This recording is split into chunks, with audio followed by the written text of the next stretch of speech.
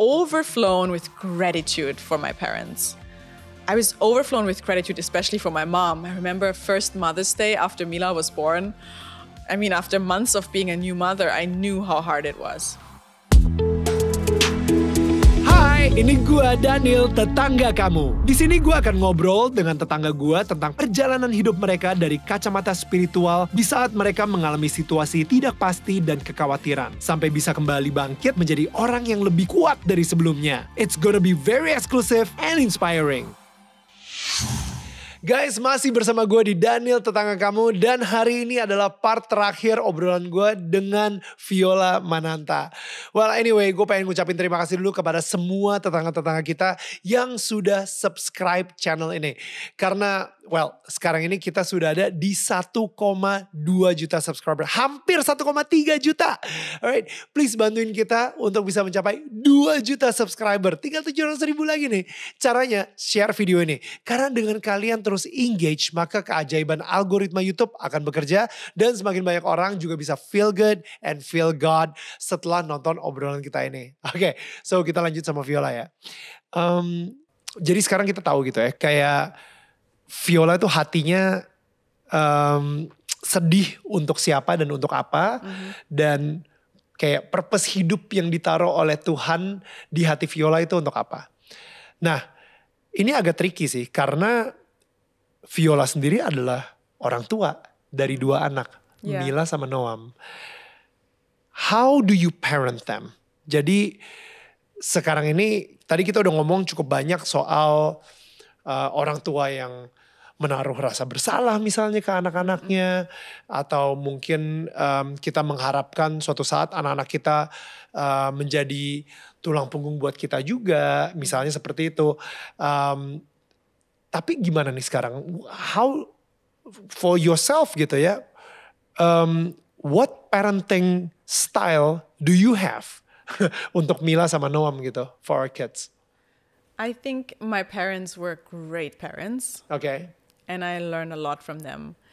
They might not have had the best marriage because they were not really good spouses in some ways, but they were always fantastic parents. And um, yeah, my, my parents, I mean, I learned so much from them because, of course, I saw them parent me, right? They've raised me up a certain way, and I never knew how special it was and how good it was until I heard stories from my friends, how their parents were treating them or how their parents were raising them. And it might have been much later, like a few years ago, my, my best friend opened up about how her mom had raised her and how dysfunctional it was. And I never knew that because she didn't tell me. She didn't know. She didn't know it was it was uh, not the right way because we need to grow up and mature and look back and see it in order to either appreciate it or to know it was not right, right? Mm. And then we can start our healing and maturing and and so on.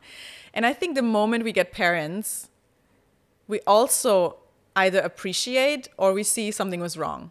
So when I had or when we had our first one, Mila, I was overflown with gratitude for my parents. I was overflown with gratitude, especially for my mom. I remember first Mother's Day after Mila was born, I was like writing a letter to my mother, crying my eyes out because I was so grateful for the sacrifices that she had made for me. I mean, after months of being a new mother, I knew how hard it was. But anyway, um, how do I know that my parents were raising me in a special way? Is that they instilled so many values into me. They raised me up with character. They raised me up giving me skills, giving me values, give, giving me a, a, structure, giving me um, like life skills, you know, and emotional skills in order to be able to actually go out into the world and make good decisions and they gave me an immense amount of trust. My parents really trusted me, and I, I never really, uh, I never really noticed that until they actually were saying it. They, we interviewed them last mm. year. Remember, we actually interviewed them, and you interviewed them, and you asked them how how they felt about, you know, me going into Indonesia and and all these things and moving into another country. And I remember my dad saying how intentional the, how intentional they were with, with their parenting and how much trust they put into my decision making. And they said, we always trusted that Viola would make good decisions. So we trusted her decision to go to Indonesia and marry an Indonesian. And in that moment, it became so clear. I was like, wow, my parents always trusted me to make good decisions. Who can say that about their parents? Hmm. Usually, parents just trust themselves making good decisions for their child and then telling their child what to do. But no, my parents had put so much good things into me that it became a point where they knew our daughter is a very capable and trustworthy person. She can make good decisions for her life.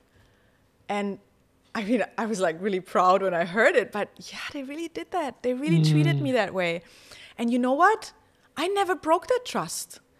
I didn't even know they trusted me that much, but I never broke that trust because because it was given so freely. I never had the intention to to break any trust, right? I never had to and and when you're being so loved and so trusted, it's like you automatically love your parents. You automatically make good decisions because you've been raised well, you've learned values, you haven't been controlled. I haven't been controlled by my parents. They they couldn't control me actually. I mean, but they also didn't try overly. Um, and they knew I was doing good decisions. And I I really think that's how I want to bring up my kids. Hmm. I want to raise our kids, and I hope we can do that really well together hmm.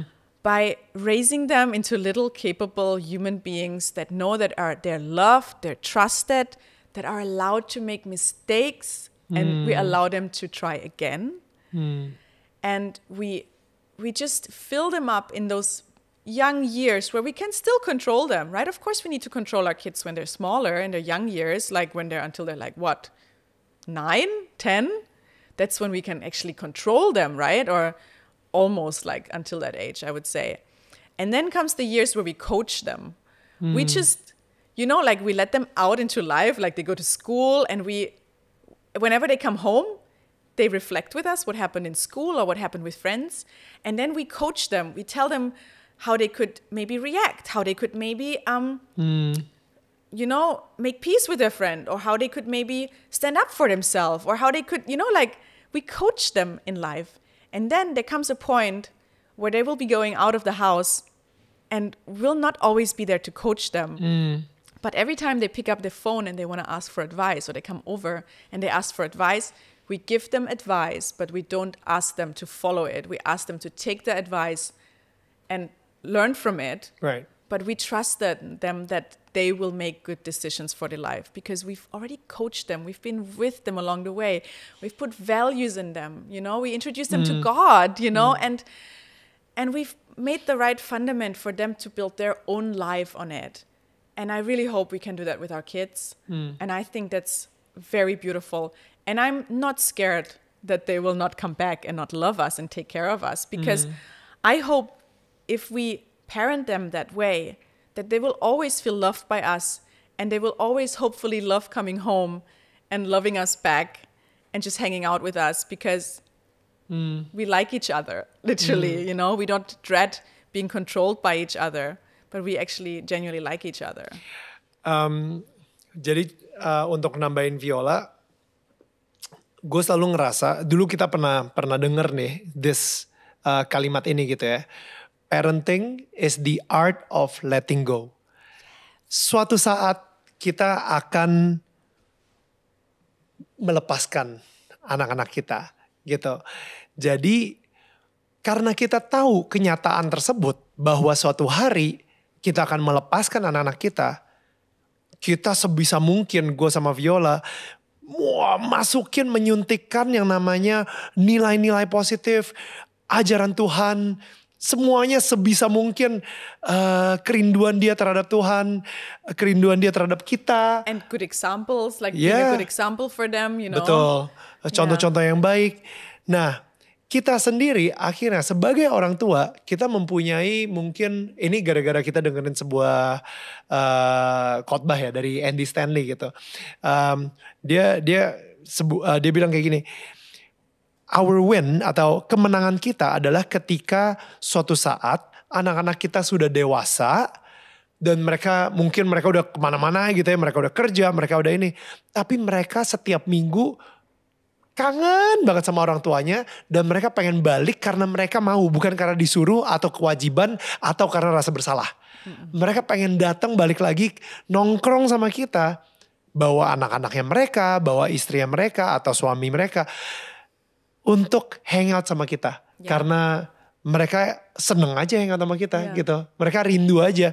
Kita setiap hari Sabtu kita ada pancake Saturday dan yang misalnya kita lagi nggak ada di rumah, mereka malah nanya-nanya gitu ya. Ini kok kita nggak ada pancake Saturday? ada beberapa ritual-ritual yang kita biasakan mulai dari sekarang supaya mereka bisa mempunyai rasa kerinduan tersebut gitu. Yeah. Aduh, misalnya nih mereka udah udah dewasa gitu ya. Mungkin Noam ngomong sama Mila, kangen ya pancake Saturday. Eh, you know, yuk balik yuk ke rumah bokap nyokap misalnya kayak gitu. Ya gak sih? Eh, walaupun mereka udah punya keluarga, walaupun mereka sudah sudah dewasa gitu ya atau mereka kerja, mereka dengan kesibukannya masing-masing, tapi mereka kangen sama yang namanya pancake Saturday. Yeah. That's Right? Yeah, that's right. atau simple Saturday. Wah itu another story sih nanti ya bisa gue ceritain. But anyway Viola, thank you so much. I think um, I think we- ini sih kalau misalnya gue sama Viola sih udah pasti ya ini ini cuman sekelibat banget aja dan gue bener-bener dari tadi susah banget untuk fokusnya sama Viola aja gitu karena you know I I really wanna I really wanna show like uh, everyone about your heart gitu uh, your heart for um, hatinya Viola untuk Indonesia, hatinya Viola untuk um, semua penonton dan hatinya Viola untuk gue sendiri gitu. Karena emang emang apa ya, emang berbeda sih kayak kayak sekarang ini gue interview Viola pun juga ini menarik banget. I you know, this is so interesting right yeah, for both of us. really weird. Yeah. Tapi dengan hatinya Viola tadi itu untuk Indonesia yang kita udah tahu gitu ya, untuk membesarkan eh, perempuan-perempuan Indonesia atau memecurkan ya, mendewasakan perempuan Indonesia dari gadis untuk menjadi seorang wanita Indonesia. Gimana nih cara supaya mungkin mereka bisa lebih banyak mendengerin Viola lagi gitu. So um, I have a YouTube channel together with two of my friends, and it's called The Powder Room, The Powder Room Talk, actually.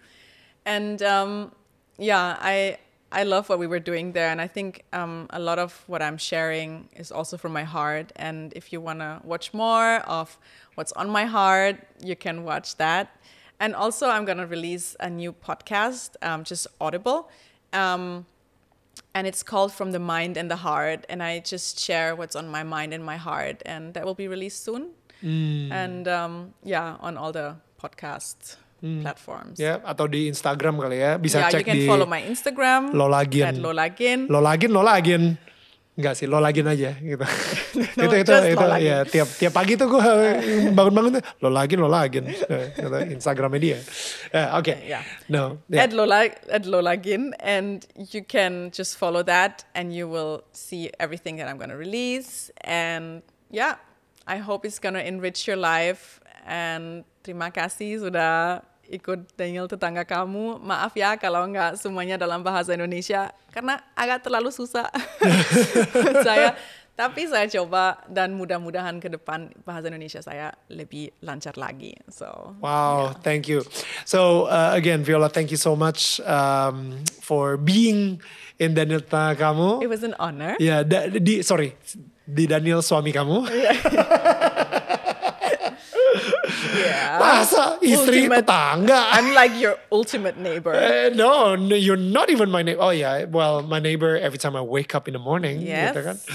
Oke, tapi yang pasti kalau misalnya kalian udah dengerin ini uh, dari part 1 sampai hari ini, gue pengen bilang thank you so much. Um, you know, mudah-mudahan apa yang kita obrolin sekarang ini bisa merubah perspektif kalian juga, bisa memberikan um, kebebasan juga buat kalian uh, tentunya dalam memilih cinta sendiri gitu mencintai sepenuhnya dengan hati, bukan dengan keterpaksaan, bukan dengan rasa bersalah, tapi benar-benar mencintai dengan sepenuh hati karena kita bebas memilih cinta gitu kan. Dan gue yakin banget sih itu yang Tuhan harapkan di setiap manusia ciptaannya gitu. So again guys, thank you so much for listening. Kita akan ketemu lagi minggu depan. Uh, yang pasti kalau misalnya kalian pengen ngecek siapa sih tetangga yang akan gue undang minggu depan, langsung aja cek di at Daniel Manata Network. Dan uh, ya, yeah, thank you. Tetangga saling menyangga, bukan menyanggah. See you guys again. Bye.